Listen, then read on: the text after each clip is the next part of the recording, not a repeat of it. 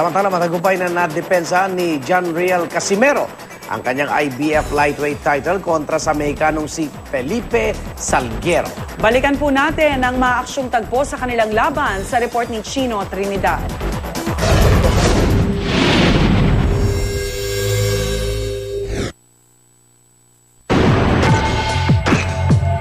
Natupad ba ng kanyang pangarap na makalaban sa harap ng kanyang mga kababayan?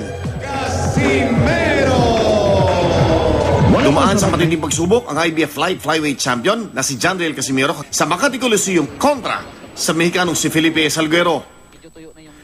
Dahil halatang pagod mula sa pagbibiga na sobrang timbang noong official weigh-in noong biyernes at nasaktan sa mga birata sa bodega ng matinik na Mexicano, kinailang ang baguhin ni Casimero ang kanyang style. Tinipid niya ang mga kilos at tinataymigan si Salguero. Alam yung hook mo or ano? Nasa lubong. Oo. Ito, napakaraming sinalusuntok.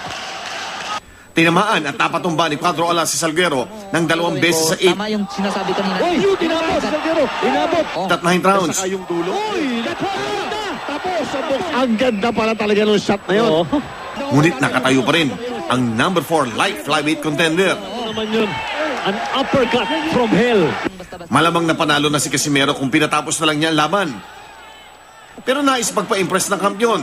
Kaya sa kalagitnaan ng 11th round, nagpakawala siya ng malupit na kombinasyon at ang resulta, Ito na. Oh, Diyos ko. Wala na. Tapos na. Tinigil na. That is it.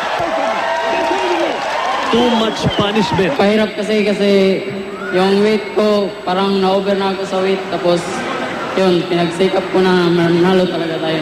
Salamat sa ni Manny Pacquiao at saka sa Jamie at saka sa lahat ng sumusuporta ng event ito. para sa unang balita, Sino Trinidad reporting